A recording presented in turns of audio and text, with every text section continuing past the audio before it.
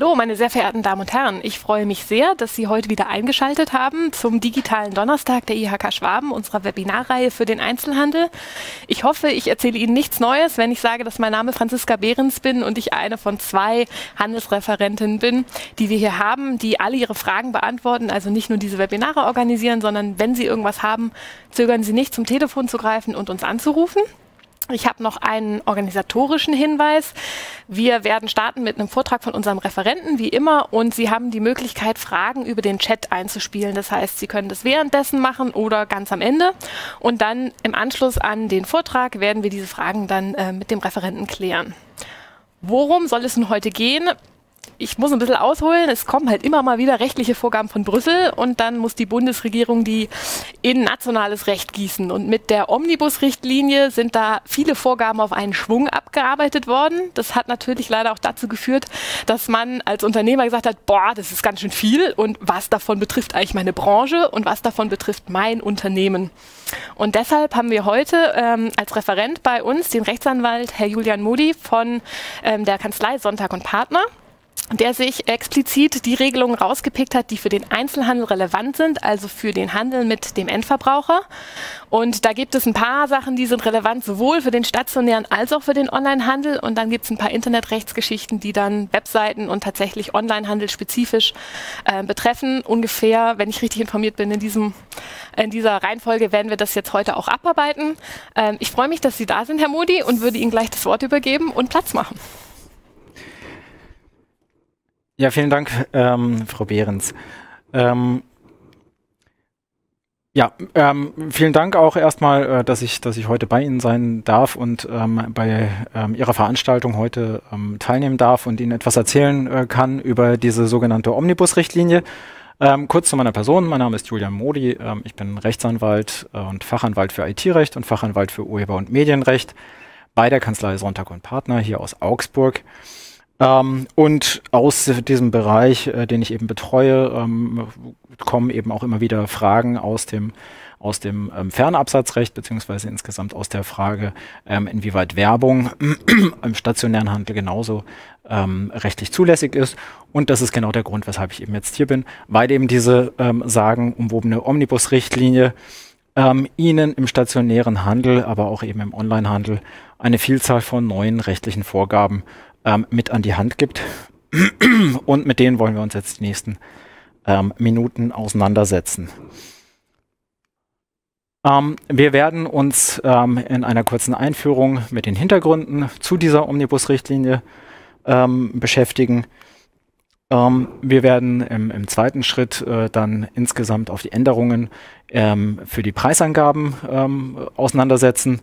Hier haben sich gerade ähm, Angaben zur Preisangabenverordnung ähm, geändert durch diese Omnibus-Richtlinie und das will ich Ihnen näher schildern, ähm, was es hier für Änderungen gibt und wo Sie darauf achten müssten, wie eben zukünftig vielleicht an der einen oder anderen Stelle ähm, Preise ausgezeichnet werden müssen.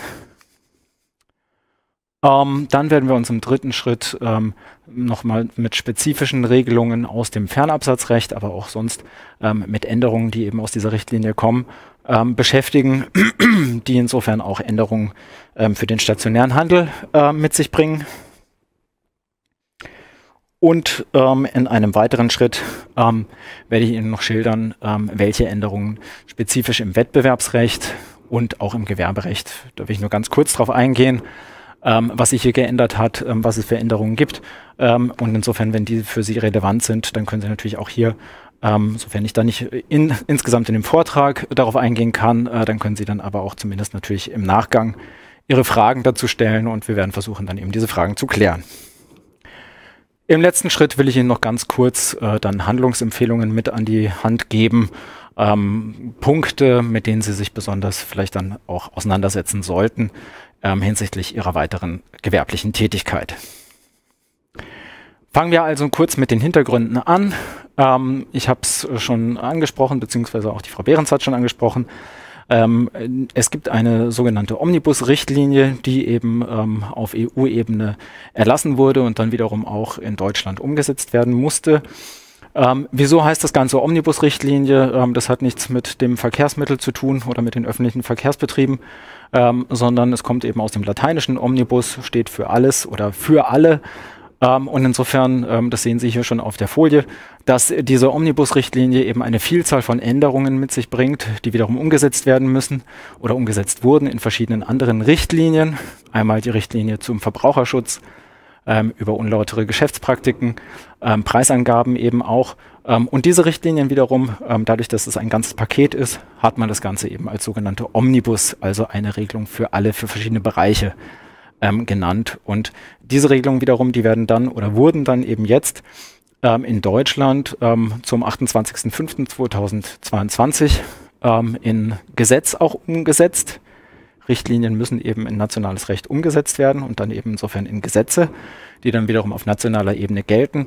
Ähm, und das habe ich Ihnen hier unten aufgeschlüsselt, was es hier im Wesentlichen für Änderungen gibt oder was es hier ist im Wesentlichen für gesetzliche ähm, Umsetzungen gibt, nämlich eben das Gesetz ähm, zur Stärkung des, Wettbewerb äh, des Verbraucherschutzes und äh, des Wettbewerbs- und Gewerberechts. Ähm, es gibt äh, Änderungen eben im, im, bürgerlichen Gesetzbuch, im BGB oder dem Einführungsgesetz ähm, zum BGB, dem EGBGB und dann eben vor allem ähm, in der Preisangabenverordnung. Ähm, was ist das wesentliche Ziel dieser Richtlinie? Das wesentliche Ziel der Richtlinie ist vor allem ähm, der Verbraucherschutz. Es soll ein, ähm, der Verbraucherschutz soll insgesamt modernisiert werden, soll angepasst werden auf ähm, ja, neue Phänomene, ähm, die eben im Bereich des, des Absatzes äh, von Waren und Dienstleistungen eben auftreten. Das heißt eben neue Tätigkeiten, ähm, die sollen eben angepasst werden und umgesetzt werden.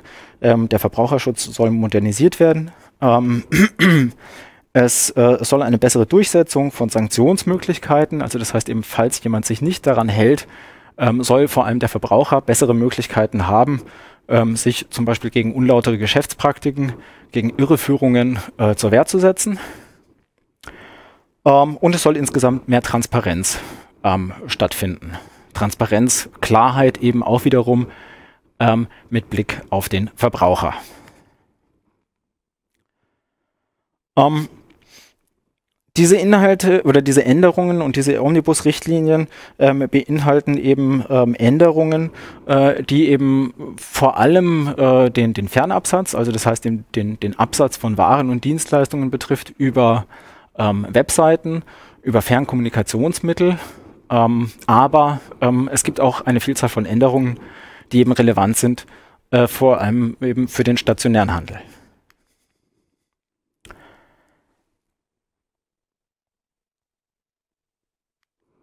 Was hat das Ganze jetzt eben ähm, für die Preisangabenverordnung mit sich gebracht? Ähm, ich will Ihnen hier erstmal ganz kurz darstellen, ähm, was es überhaupt mit den Preisangabenverordnungen ähm, oder mit der Preisangabenverordnung auf sich hat. Ähm, ich will Ihnen Grundsätzliches zu den Preisangaben ähm, kurz darstellen. was besagt überhaupt die Preisangabenverordnung? Was hat sie bisher schon besagt? Und dann will ich eben etwas näher auf die wesentlichen Änderungen eingehen, die eben jetzt äh, diese Omnibus-Richtlinie mit sich gebracht hat. Ähm, die Preisangabenverordnung ähm, besagt äh, dass, generell mal, ähm, dass der Verbraucher ähm, Klarheit darüber haben muss, ähm, welcher Preis von ihm verlangt wird. Ja? Aber Grundlage ist eben die, äh, dass generell erstmal geworben werden muss unter Angabe eines Preises. Das heißt, es ist nicht zwingend erforderlich, wenn Sie werb werben, ähm, dann müssen Sie nicht zwangsläufig einen Preis angeben. Aber wenn Sie einen Preis angeben und dann Ihre Ware oder Ihre Dienstleistung ähm, unter Angabe dieses Preises werblich hervorheben, ähm, dann gilt für Sie eben diese Preisangabenverordnung. Ziel der Preisangabenverordnung ist, Preiswahrheit und Preisklarheit zu erreichen. Preiswahrheit heißt, dass der Preis, der verlangt wird, eben auch wirklich der Wahrheit entspricht, also keine ver versteckten ähm, höheren Kosten vielleicht noch irgendwo entstehen können, falls der Verbraucher bei Ihnen einen Vertrag schließen will, und Preisklarheit besagt im Grunde das Gleiche, nämlich eben, ähm, dass das auch klar ist, wie sich der Preis zum Beispiel zusammensetzt. Wesentliche Grundlage ähm, dieser Preisangabenverordnung ähm, ist eben, findet sich in Paragraph 3 der Preisangabenverordnung, ähm, wonach eben generell der Gesamtpreis angegeben werden muss. Das heißt, ähm, Angabe des Preises, der einschließlich der Umsatzsteuer und sonstiger Preisbestandteile für eine Ware oder eine Leistung zu zahlen ist. Also gegenüber Verbrauchern heißt das, dass sie Bruttopreise angeben müssen, also Preise inklusive Mehrwertsteuer. Das ist der Gesamtpreis in der Regel. Ähm, Nettopreise wären insofern, äh, wenn, wenn Nettopreise angegeben werden, ähm, dann wäre dies ein Verstoß gegen die Preisangabenverordnung und das wäre dann eben auch irreführend, weil der Verbraucher vielleicht ausgeht, okay, er muss ja etwas zahlen, ähm, ohne, also er, er, hat schon hier den Preis 2,50 Euro ähm, und dann steht er an der Kasse zum Beispiel und dann fällt, stellt er fest, die 2,50 Euro, die waren gar nicht der Preis, den er am Schluss wirklich zahlt als Gesamtpreis, sondern er zahlt 2,50 Euro plus ähm, ja, 19% Mehrwertsteuer. Dann wäre dies ein Verstoß gegen diese Preisangabenverordnung. Ähm, um diese Preisklarheit und Preiswahrheit zu erzielen, ähm, müssen auch Grundpreise angegeben werden.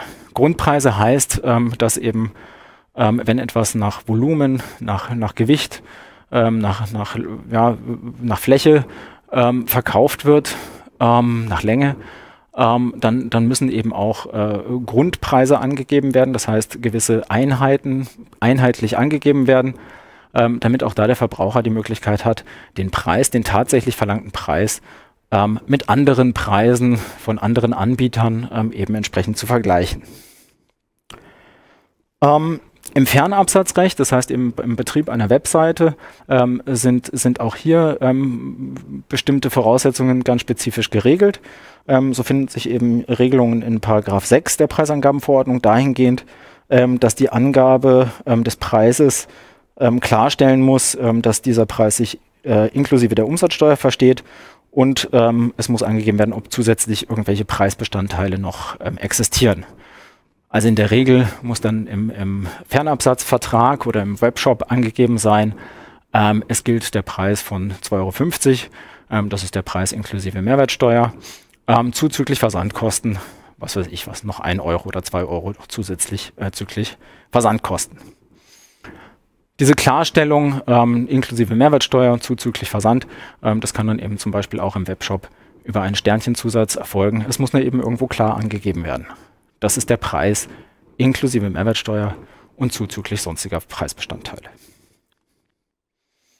Es gibt noch für verschiedene Bereiche, speziellere Bereiche, ähm, Vorgaben ähm, aus dieser Preisangabenverordnung, zum Beispiel eben beim Bezug von ähm, Elektrizität, Wasser, ähm, Gas. Ähm, es gibt im Bereich äh, aus dem Gaststättenbetrieb ähm, oder Beherbergungsbetrieben gibt es noch ganz spezifische Regelungen. Darauf will ich aber jetzt gar nicht näher ähm, so weit im Detail eingehen, weil das den Rahmen ähm, dieser Veranstaltung so weit sprengen würde.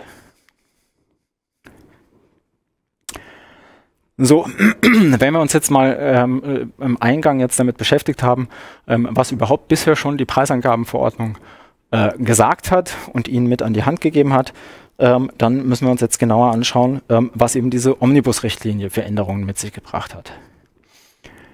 Sie hat eine wesentliche Änderung mit sich gebracht, nämlich dass Preisermäßigungen ähm, auch wieder unter dem Gesichtspunkt höhere Transparenz, mehr Klarheit, ähm, ja, ähm, ja, Preisermäßigungen unter diesen Gesichtspunkten eben deutlicher und klarer dargestellt werden müssen dass keine versteckten ähm, Preisschaukeleien stattfinden, dass zum Beispiel nur Vorsorg oder nur, nur vorgabegemäß im Grunde ähm, letzte Woche noch ein höherer Preis verlangt wurde, der aber nicht langfristig verlangt wurde, nicht ernsthaft verlangt wurde und heute eben ähm, ein vorgespiegelt wird, dass dieser Preis wesentlich heute niedriger ist, obwohl es gar nicht der Fall ist, weil eben dieser Preis gar nicht langfristig verlangt wurde, der vorher angegebene höhere Preis. Was muss gemacht werden? Ähm, Unternehmer, die eben Verbrauchern ähm, nunmehr heute mit, ähm, mit, mit Preisermäßigungen werben, ähm, müssen bei dieser Preisgegenüberstellung ähm, den niedrigsten Preis oder den niedrigsten Preis angeben, der die letzten 30 Tage verlangt wurde. Sprich, das habe ich Ihnen hier mal als Beispiel auch aufgeführt. Ähm, wann spricht man überhaupt von einer Preisermäßigung? Wenn natürlich eben von einer Reduzierung eines Preises ähm, wenn die werblich hervorgehoben wird. Ähm, also zum Beispiel eben diese, diese Werbung mit Stadtpreisen, eben bisher 5,90 Euro, ähm, heute nur 3,90 Euro. Oder auch durchgestrichene Preise, also Streichpreise, das sind natürlich eben auch dann Preisgegenüberstellungen oder Preisermäßigungen, ähm, die dann eben in gleichermaßen ähm, eine Preisreduzierung ähm, darstellen oder veranschaulichen sollen. Und wie gesagt, wenn Sie jetzt zum Beispiel am heutigen Tage mit einem Preis werben, äh, mit einem niedrigen Preis werben, eben bleiben wir bei dem Beispiel mit oder ist vollkommen gleich. Ähm, heute etwas, heute kostet etwas 3,90 Euro. Ähm, dann müssen Sie zurückrechnen und sich anschauen, ähm, was denn jetzt die letzten 30 Tage bezogen auf diese Ware ähm, der günstigere Preis oder der günstigste Preis war. Was hat es jetzt aber für Konsequenzen? Ja, es hat immense Konsequenzen, ehrlich gesagt. Ähm, nämlich, dass ihr dadurch, dass sie darstellen müssen, sie müssen zwingend nachweisen können, dass der gegenübergestellte Preis, also das heißt der, der damals höhere und der heute niedrige Preis, dass dieser damals höhere Preis oder der damals niedrigere Preis, so rum, Entschuldigung, ähm, äh, ähm, tatsächlich der niedrigste war, der die letzten 30 Tage verlangt wurde. Das heißt, Sie müssen sämtliche Preise, sämtliche Preisauszeichnungen archivieren. Ja? Ähm, es muss ein ständiges äh, Preismonitoring stattfinden. Das heißt, Sie müssen es ja immer im Zweifel ähm, auch bezogen auf jede Ware, bei der Sie vielleicht mit einer Preisreduzierung werben wollen, ähm, müssen Sie diesen Nachweis führen können. Wenn Sie ein großes Sortiment an Waren haben, dann heißt es, dass Sie auch äh, für sämtliche Preise, die dann dort vielleicht ähm, werblich hervorgehoben werden, also Preisgegenüberstellungen, Streichpreise, heute das, damals noch das als Preis, ähm, äh, dass das jetzt dann für jede Ware, für jede einzelne Ware soweit archiviert werden muss, damit sie im Falle eines Falles, also im Falle einer Auseinandersetzung, falls Ihnen zum Beispiel ein Mitbewerber, ein Konkurrent, ein Verbraucherschutzverband Ihnen vorwirft, Moment, Sie haben sich hier nicht an die Preisangabenverordnung gehalten, damit Sie nachweisen können, nein, das stimmt. Der Preis, den ich hier dargestellt habe, ähm, das war tatsächlich der niedrigste Preis, den ich eben die letzten 30 Tage ähm, für die bestimmte Ware verlangt habe. Und das ist, wie gesagt, ich, ist, man weiß noch nicht genau, wie das in der Praxis dann auch ausschauen soll. Ähm, es gibt natürlich noch keine Rechtsprechung dazu, weil eben diese Omnibus-Richtlinie ja erst ähm, seit dem 28.05.2022 ähm, umgesetzt sein muss. Ähm, aber es wird zwangsläufig dazu führen, ähm, dass eben das einen immensen Archivierungsaufwand und Monitoringaufwand ähm, eben entsprechend mit sich bringen wird. Ähm, und hier hinsichtlich dieser Vorgaben für die Preisermäßigungen ähm, gibt es eben keine Vor Vorgaben oder keine Ausnahmen hinsichtlich des stationären Handels. Das heißt, es trifft Sie im stationären Handel genauso wie eben den Online-Shop. Und im Online-Shop können Sie das natürlich viel einfacher ähm, digital schon festhalten, welche Preise ähm, wann für welche Ware ähm, verlangt wurden. Aber im stationären Handel ist es natürlich unheimlich schwierig. Ähm, Sie müssen das eben alles irgendwo ähm, ja, katalogisieren und festhalten. Das heißt, ein immenser ähm, Verwaltungsaufwand eigentlich, der dort ähm, auf den stationären Handel äh, zukommt. Diese Vorgaben für die Preisermäßigung gelten auch für Kaffeefahrten oder auch äh, sonst, ähm, wenn Waren äh, mit digitalen Inhalten ähm, verkauft werden, das also Software zum Beispiel. das ist aber eher wiederum auch etwas, was äh, in der Regel den, den Internetvertrieb das heißt eben im, im Download von, von Software oder von Filmen, ähm, Büchern, was auch immer, ähm, relevant ist. Aber auch da, wie gesagt, äh, gilt eben diese Vorgabe. Also da gibt es keine Ausnahme. es gibt Ausnahmen, ähm, wo diese Vorgaben für Preisermäßigungen nicht gelten. Ähm, zum Beispiel eben ähm, bei Dienstleistungen. Also das heißt, wenn nur Dienste verkauft werden, also vertrieben werden, angeboten werden ähm, und auch unter Preisangaben ähm, beworben werden, ähm, dann ist das jetzt insofern von dieser Preisermäßigung oder von diesen Vorgaben für Preisermäßigungen ausgenommen. Und wie gesagt, ähm, das habe ich hier auch nochmal auf der Folie ähm, aufgeschlüsselt. Ähm, bei, bei Rabattaktionen ähm, zahle, zahle zwei, bekomme drei zum Beispiel. Ähm, also das heißt, wenn, wenn geworben wird mit einer Reduzierung meinetwegen, insgesamt natürlich schon auch mit einer geldwerten Reduzierung ähm, von, von ähm, Kaufpreisen, ähm, aber eben nicht diese Reduzierung ähm, tatsächlich unter Angabe von höheren und niedrigeren Preisen dargestellt werden, dann sind hier nicht diese Vorgaben zu beachten. Bei ähm, Waren, die schnell verderblich sind, also da, wo das Mindesthaltbarkeitsdatum zum Beispiel eben ähm, schon abgelaufen ist oder kurz vorm Ablauf steht, das, was man ja auch eben ähm, vor allem aus dem Lebensmittelbereich natürlich eben kennt, ähm, dann, dann muss ich ja auch nicht diese Preis, ähm, Preisarchivierung vornehmen, weil sie eben, ja, das hat ja eine Vielzahl von, von Faktoren und Voraussetzungen, ähm, oder Gründe, ähm, weshalb eben dann ähm, bei solchen schnell verderblichen Waren eine Preisreduzierung dargestellt wird. Ähm, das liegt eben daran, dass das die Ware vielleicht jetzt qualitativ eben nicht mehr, nicht mehr dem entspricht, ähm, was es eben in frischer Form ähm, generell mal wert war. Ähm, bei Räumungsverkäufen, das heißt, wenn absehbar ist, dass schrittweise eben bezogen auf einen drohenden, auf eine drohende Räumung oder einen Ablauf ähm, eines, eines Räumungsverkaufs ähm, eine schrittweise Reduzierung von Preisen ähm, stattfinden soll, ähm, dann äh, gelten auch wiederum nicht diese Vorgaben für Preisermäßigung. Ja, weil man da im Blick gehabt hat, okay, ähm, der, der, der Händler ähm, muss hier immer weiter vielleicht mit dem Preis runtergehen, schrittweise runtergehen, ähm, weil er eben insgesamt sein, sein Lager aufgeben will oder eben sein, insgesamt seinen Handel einstellen will oder einstellen muss, wie auch immer. Ähm, was gilt bei Verstößen? Also was heißt, ähm, was gilt, wenn Sie eben diese Vorgaben nicht einhalten? Ähm, nun, zum einen ähm, kann das eine Ordnungswidrigkeit sein, das heißt, es kann ein Bußgeld verhängt werden, wenn Sie sich eben nicht an diese Vorgaben halten. Ähm, aber, und das ist, glaube ich, die größere Gefahr, ähm, Sie können auch abgemahnt werden. Das, was ich eben schon gesagt hatte, von einem Mitbewerber, von einem Verbraucherverband, ähm, kann eine Abmahnung ausgesprochen werden ähm, und es kann verlangt werden, bitte nicht mehr so werben zukünftig. Ähm, Sie werden kostenpflichtig von einem Anwalt abgemahnt, ähm, der wird im Auftrag dieses Mitbewerbers zum Beispiel eben tätig und sagt, das ist zu unterlassen, diese Form der Werbung, ähm, und fordert von ihnen dann eben eine strafbewährte Unterlassungserklärung. Ähm, und äh, ja, das ist eben sehr unangenehm. Ähm, und wenn sie darauf nicht reagieren, dann können sie auch damit rechnen, dass dann vielleicht sogar im gerichtlichen Eilverfahren eine einstweilige Verfügung gegen sie erlassen wird.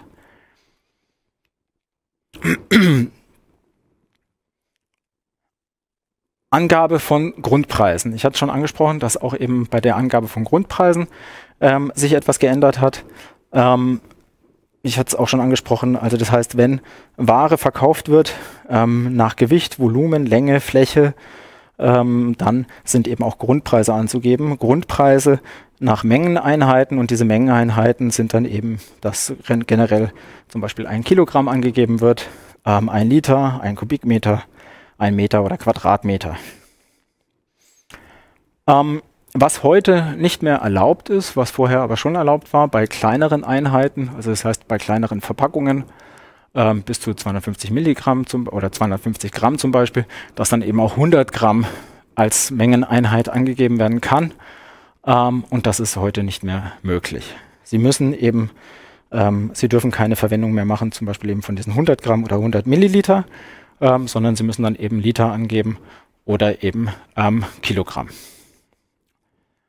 Und diesbezüglich müssen Sie einfach mal bei sich in den Laden gehen oder bei sich ins Geschäft gehen und mal alle Grundpreise durchprüfen, ob das jetzt dann eben so bei Ihnen ordnungsgemäß eingehalten wird. Und wenn nicht, dann besteht hier auch wiederum die Gefahr einer kostenpflichtigen Abmahnung bzw. eines Bußgeldes.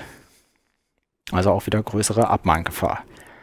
Und bei einer Vielzahl von Waren, die eben so angeboten werden, ähm, ist es natürlich eben auch ein, ein entsprechender Aufwand, der da auf Sie eben entsprechend zukommt.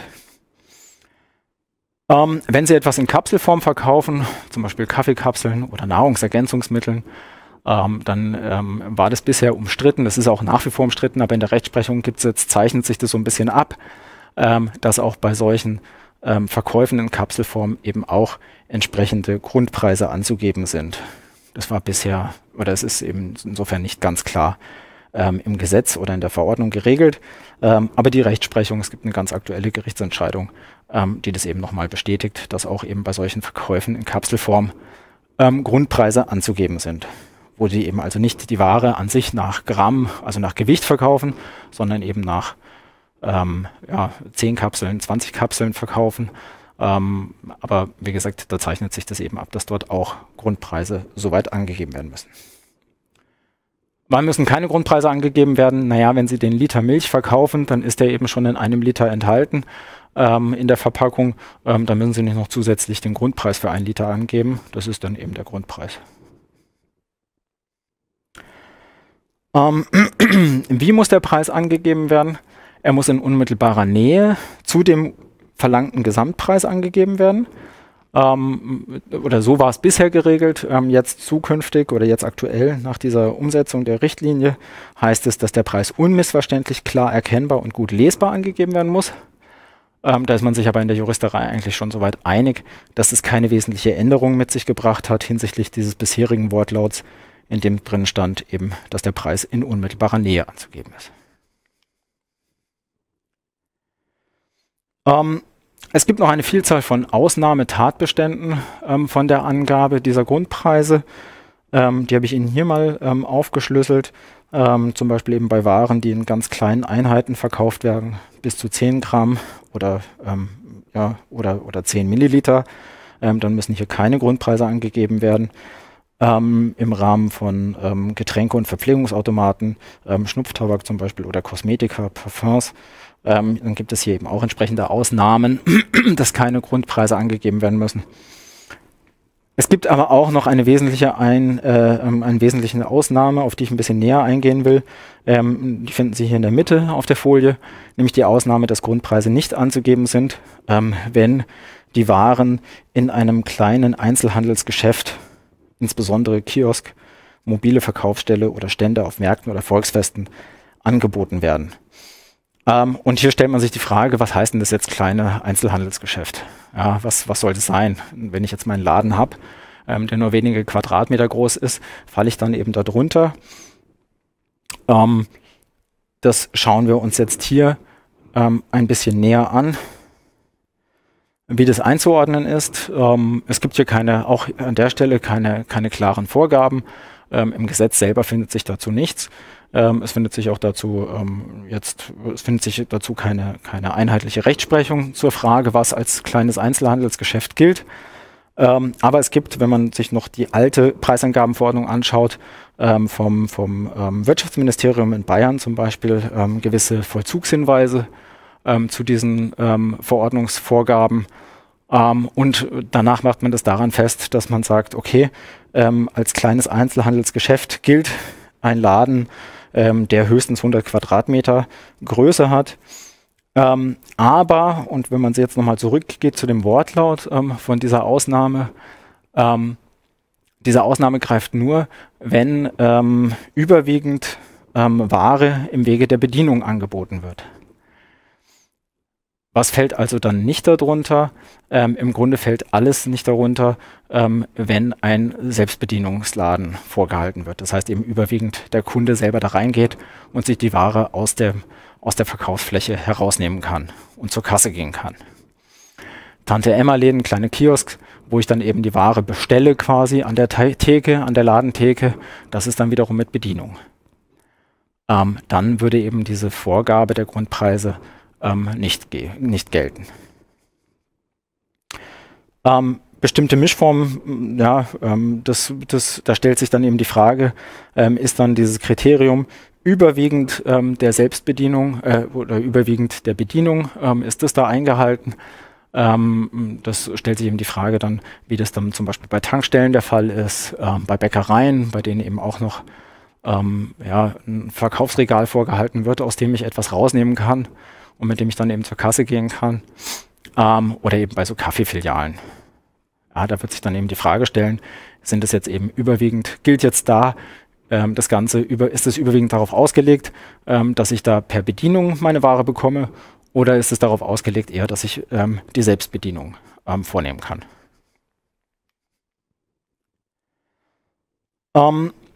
Es hat sich noch etwas geändert ähm, bei der rückerstattbaren äh, Sicherheit. Was ist eine rückerstattbare Sicherheit? Klingt sehr sperrig. Ähm, was mit diesem Paragraphen 7 der Preisangabenverordnung gemeint ist, sind Pfandsysteme zum Beispiel. Also das heißt Flaschenpfand. Was hat sich hier geändert? Ähm, es wurde hier aufgenommen ähm, der Grundsatz, dass ein als rückerstattbare Sicherheit zu entrichtender Betrag, also der Pfandbetrag, bei der Berechnung des Grundpreises ähm, wiederum unberücksichtigt zu bleiben hat.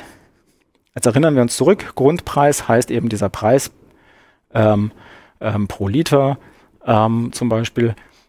Ähm, da hat eben diese, äh, dieser Pfandbetrag außen vor zu bleiben.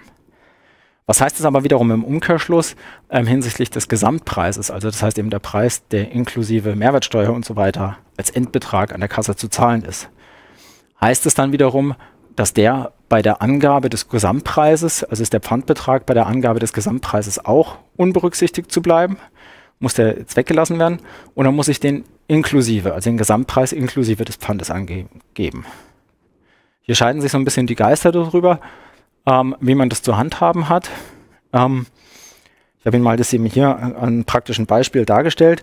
Also ist jetzt dann eben der Gesamtpreis für die Ware ohne Flasche und daneben der Pfandbetrag anzugeben. Hier habe ich es mit dem Beispiel mit den 2,50 Euro zuzüglich 30 Cent Pfand zum Beispiel eben äh, aufgeführt. Das wäre dann eben jetzt der Gesamtpreis, ähm, aber eben ohne diesen Pfandbetrag. Oder ist es eben soweit zu handhaben, dass ich dann tatsächlich auch die 2,80 Euro als Gesamtpreis angeben muss und dann im Hintergrund dann in Klammerzusatz vielleicht aufschlüsseln muss, der generelle Preis sind die 2,50 Euro plus 30 Cent im Pfand meines Erachtens, wenn Sie eben diese zweite Lösung wählen und so den Preis angeben, ähm, dann können Sie nichts falsch machen. Ähm, dann könnte man Ihnen meines Erachtens eben zumindest nicht den Vorwurf machen, dass Sie sich nicht an diese Vorgaben ähm, des Paragraphen 7 Preisangabenverordnung halten würden.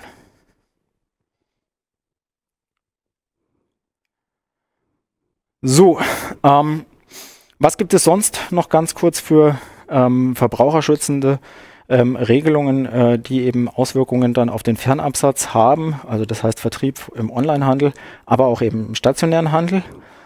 Ähm, das wollen wir uns hier noch ganz kurz anschauen. Ähm, diese Omnibus-Richtlinie hat eine Vielzahl von Informationspflichten noch für Betreiber, vor allem von Online-Shops, ähm, mit sich gebracht. Ähm, zum Beispiel müssen die im Impressum ähm, keine, ähm, es ist ja klargestellt, dass keine Telefaxnummer mehr angegeben werden muss. Das war bisher eben auch wiederum ein Stück weit umstritten, ähm, aber ich glaube, heutzutage hat kaum noch jemand wirklich ernsthaft ein Faxgerät und deswegen hat sich da der Gesetzgeber gedacht, das können wir streichen. Im Impressum ist keine Faxnummer mehr anzugeben. Ähm, es gibt aber auch wiederum die Pflicht, ähm, bei digitalen Inhalten, bei digitalen Produkten, das heißt Produkte, die eben mit Software ausgestattet sind, ähm, muss jetzt zwingend auf gesetzliche Mängelhaftungsansprüche äh, hingewiesen werden. Also das heißt eben, dass, sie, dass die gesetzliche Mängelhaftung äh, gilt für Ware. Die Ware muss mangelfrei sein und wenn die mangelbehaftet ist, dann kann der Verbraucher ähm, eben hier ähm, die Behebung des Mangels, also Beseitigung des Mangels verlangen. Ähm, und dieser Hinweis, der ist zwingend zu erteilen. Und das ist etwas, was generell an sich auch im stationären Handel ähm, dann so umgesetzt werden muss. In der Regel wird es auch gemacht, ähm, weil eben die Ware ähm, so ausgestellt ist bei Ihnen im Laden und der Kunde kann sich das dann eben anschauen und hat dann da auch eben generell mal eine, eine wie auch immer, ähm, eine eine Anleitung bei der Hand und, und sieht es auch und weiß es auch ähm, oder kann es zumindest auch wissen, ähm, dass hier, falls die Ware mangelhaft ist, ähm, er sich dann eben an Sie als Anbieter dieser Ware halten kann und sagen kann, ähm, Moment, die Ware ist mangelbehaftet, ähm, ich will hier eine Beseitigung des Mangels haben, gegebenenfalls eine neue Ware haben. Ähm, es gibt noch weitere ähm, Informationspflichten für Betreiber, auch wiederum eines Marktplatzes, eines Online-Marktplatzes. Ähm, das ist aber, denke ich, ähm, für Sie jetzt im Spezifischen nicht so relevant. Deswegen würde ich da gerne darüber hinweg sehen wollen und hinweggehen wollen.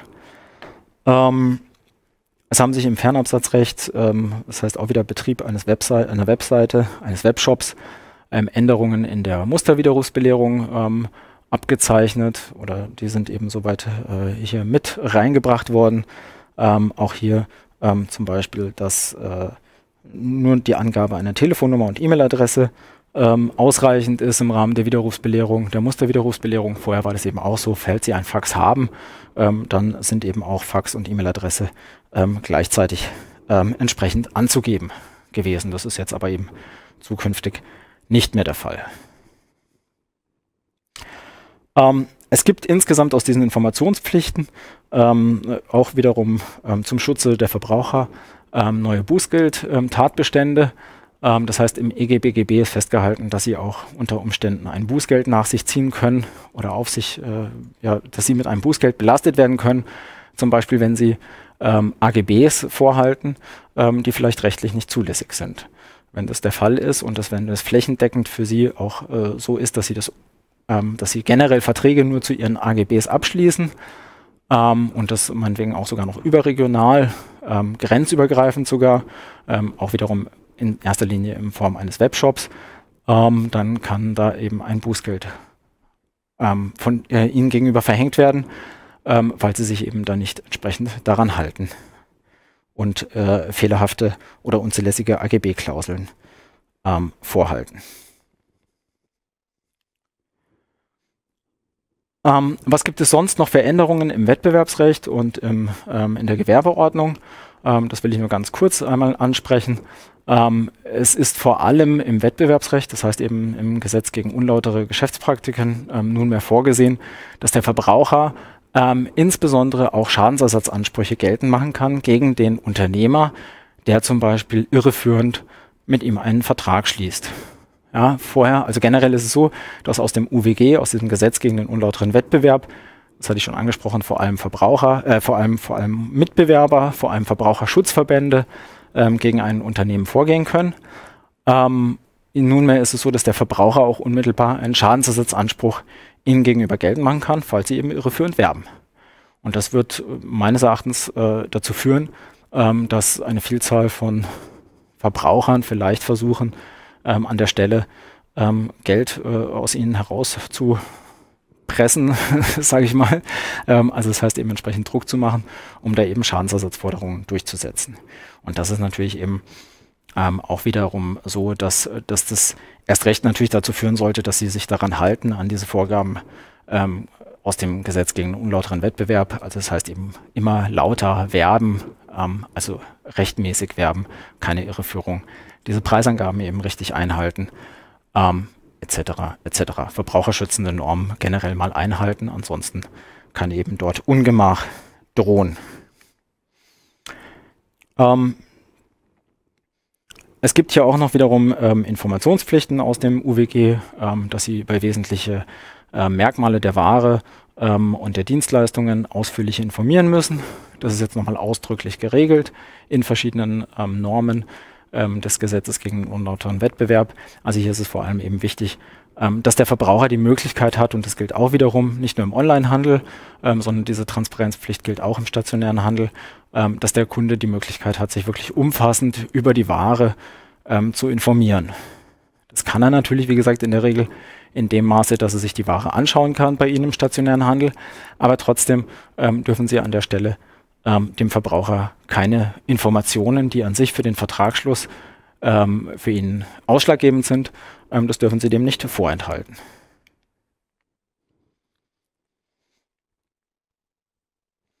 Ähm, wenn Sie mit Bewertungen werben sollten, dann gilt auch hier, dass die Bewertungen soweit klar und verständlich ähm, auf ernsthafte Bewertungen beruhen müssen. Ähm, das betrifft jetzt auch wiederum mehr den Onlinehandel. Aber dadurch, dass vielleicht der ein oder andere nicht nur einen stationären Handel hat, sondern eben auch den Online-Shop betreibt, ist es auch hier an der Stelle für ihn wichtig, ähm, wenn eben insofern ähm, mit, mit Bewertungen ähm, geworben wird, ähm, dass, äh, dass der Verbraucher eben weiß, okay, das sind ernsthaft gemeinte Werbungen oder ernsthaft gemeinte Bewertungen. So. Ähm, und äh, ansonsten ähm, Fake-Bewertungen äh, gehen eben nicht. Und ähm, auch hier gilt eben dann insofern dieses Gebot der Transparenz und ähm, äh, die Pflicht, äh, vor allem eben Irreführungen ähm, entsprechend zu vermeiden. Hier haben wir nochmal die, die Bewertungen, die Kriterien ähm, für entsprechende Bewertungen. Wie Bewertungen dann im Konkreten aussehen sollen, ähm, das habe ich Ihnen hier nochmal ganz kurz aufgeschlüsselt. Ähm, das können Sie sich im Nachgang auch nochmal im Detail ähm, denke ich, näher anschauen. Ähm, dadurch, dass es auch wiederum mehr den Onlinehandel betrifft, ähm, will ich es noch einmal zumindest angesprochen haben, ähm, aber ähm, ja, äh, nicht im Detail auch hier an der Stelle weiter eingehen. Über die Schadensersatzansprüche von Verbrauchern hatten wir soweit auch schon gesprochen. Ähm, dann können wir auch hier letztlich zu den Handlungsempfehlungen kommen.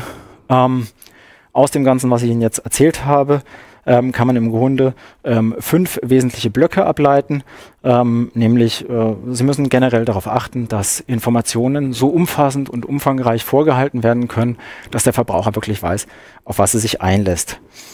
wenn Sie eine, einen Online-Shop haben, dann müssen Sie auch hier mal in Ihre Widerrufsbelehrung reingehen, die nochmal anschauen, ob hier ähm, zum Beispiel eben ähm, Dinge äh, gestrichen werden können, die bisher relevant waren. Ähm, also eben zum Beispiel diese Faxnummer, dass die beseitigt wird. Ähm, es gibt eben ein neues Muster und an diesem neuen Muster sollte man sich ähm, orientieren. Ähm, und aber vor allem, und das ist, denke ich, der wichtigste Teil, ähm, dass Sie sämtliche Preisangaben bei sich nochmals wirklich ganz konkret und ganz kritisch hinterfragen sollten, ob eben Preisermäßigungen, aber auch Angaben von Grundpreisen, Angaben von Pfandpreisen, ähm, dass die ordnungsgemäß entsprechend den Vorgaben ähm, ausgefüllt sind und dargestellt sind. AGBs sollte man generell auch immer wieder einer Prüfung unterziehen, so dass man auch hier an der Stelle die Sicherheit hat. Ähm, ich halte nur ordnungsgemäße, das heißt zulässige allgemeine Geschäftsklauseln vor, so dass mir als Unternehmer auch nicht der Vorwurf gemacht werden kann. Ähm, ich würde hier den Verbraucher hinters Licht führen. Damit wäre ich dann mit meinem Teil ähm, zu Ende. Bedanke mich für Ihre Aufmerksamkeit und wie gesagt, wir stehen jetzt noch, oder ich äh, und äh, die Frau Behrens ähm, stehen Ihnen jetzt noch gerne für ähm, Rückfragen äh, zur Verfügung. Vielen Dank. Ja, Herr Modi, vielen Dank für diesen interessanten äh, Einblick tatsächlich. Wir haben schon äh, zwei Fragen tatsächlich, die sich ähm, auf das Thema Preisangabenverordnung stürzen. Also es scheint unsere Zuhörer heute tatsächlich, oder Zuschauer muss man ja eigentlich sagen, tatsächlich schon auch äh, zu bewegen, dieses Thema. Und die erste Frage ist ziemlich konkret, nämlich ist es richtig, dass bei einer Flüssigkeit von unter 10 Milliliter die Angabe von 100 Milliliter als Grundpreis zulässig ist oder muss man auf einen Liter referenzieren? Ähm, jetzt ähm, habe ich nicht, nicht richtig aufgepasst. Unter 10 Milliliter. Ja, genau. Die Flüssigkeit unter 10 Milliliter von dem Produkt, was mhm. auch immer da verkauft wird. Vermutlich irgendeine Tube oder ja, genau. Spritze. Also wie gesagt, ich hatte es auch schon, schon angesprochen, bei bestimmten Produkten, zum Beispiel aus dem Kosmetikbereich, muss unter Umständen vielleicht gar nichts angegeben werden.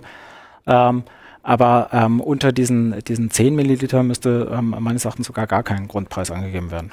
Das ist ja schon mal gut zu wissen. Das ist doch interessant.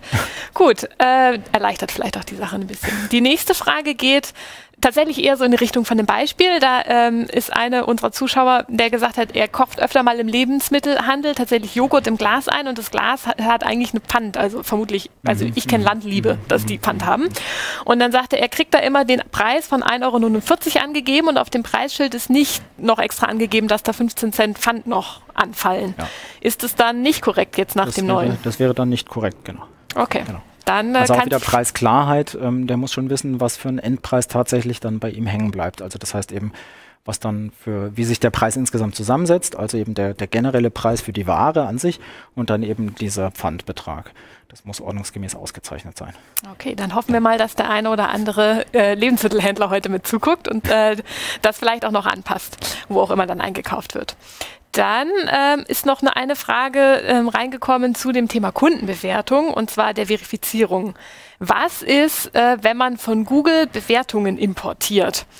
Also praktisch ähm, sozusagen einen Plugin vermutlich hat und dann eine Google-Bewertung auf seiner Webseite ausspielt, bei der dann auch deutlich ist, die von Google kommen. Also meistens ist da ja das Google-Logo dann noch mit dabei. Muss auch hier gekennzeichnet werden, ob diese Bewertungen verifiziert sind oder ist das eine Aufgabe von Google, das klarzustellen?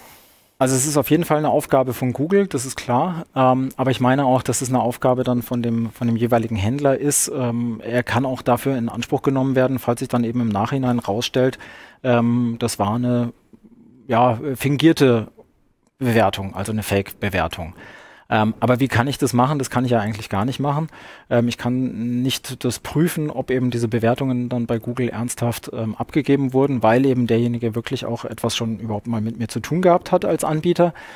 Ähm, aber gut, so ist es nun mal. Der Gesetzgeber hat hier Klarheit geschaffen und hat gesagt, ähm, jeder, der mit Bewertungen wirbt, der muss sicherstellen, dass eben wirklich nur ernste und ernsthafte ähm, Bewertungen abgegeben werden oder damit geworben wird. Also insofern, sie kommen nicht aus der Pflicht heraus. Ähm, das ist notwendig ähm, und äh, da müssen sie eben dafür sorgen, dass es so entsprechend umgesetzt wird. Okay, schade, wäre natürlich schön gewesen, wenn man sagen kann, Google, äh, so, so muss es laufen.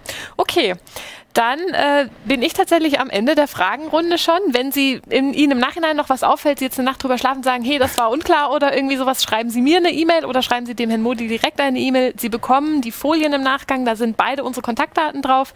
Da können Sie äh, dann tatsächlich auf uns alle nochmal äh, zukommen und ja, das alles äh, in dem Sinne gerne klären. Dann habe ich noch ein paar abschließende ähm, Hinweise für Sie. Jetzt geht es ein bisschen rund in den Folien, aber wir kriegen das organisiert. Und äh, zwar der nächste digitale Donnerstag ist tatsächlich nach unserer ähm, Sommerpause, die wir jetzt erstmal einlegen. Da geht es um das Thema regionales Online-Marketing. Da gibt es äh, tatsächlich ein kleines Startup, was ein bisschen vorstellt, wie man mit Google Inventory umgeht. Also wie man praktisch seine Produkte in Google in der Produktleiste mit einbringt, ähm, was man dafür machen muss, wenn man es selber machen möchte und ähm, dann natürlich auch ein bisschen wie die unterstützen, ähm, für den Fall, dass es für den einen oder anderen hier interessant sein sollte. Dann gibt es natürlich auch noch IHK-Spezialwebinare anderer Art. Ich habe jetzt hier ein paar Rechtsthemen rausgesucht. Leider nicht zu dem schönen äh, digitalen Donnerstagabendtermin, aber vielleicht können Sie sich ja trotzdem freischaufeln. Am 28. Juli geht es um das Thema rund um den Urlaubsanspruch, weil sich ja einiges im Arbeitsrecht ändert. Und im September äh, gibt es nochmal ein DSGVO-Update. Das ist ja auch etwas, wo man kontinuierlich leider am Ball bleiben muss, weil sich das eine oder andere dann doch auch tut oder mal eine Rechtsentscheidung äh, getroffen wird. Und wenn Sie sagen, das war jetzt heute gut und Sie wollen weitere Informationen von uns haben oder keinen digitalen Donnerstag mehr verpassen, dann melden Sie sich doch einfach zu unserem IHK-Newsletter an im Bereich Handel. Dann kriegen Sie von mir und meiner Kollegin, der Frau Hehl, immer alles, was es zu wissen gibt. Tatsächlich. Dann bleibt mir für den Abschluss nur, mich bei Ihnen zu bedanken, dass Sie dabei waren. Vielen Dank für die Aufmerksamkeit. Ähm, ich hoffe, dass Sie Sie mal wieder sehen zum nächsten Webinar. Tschüss.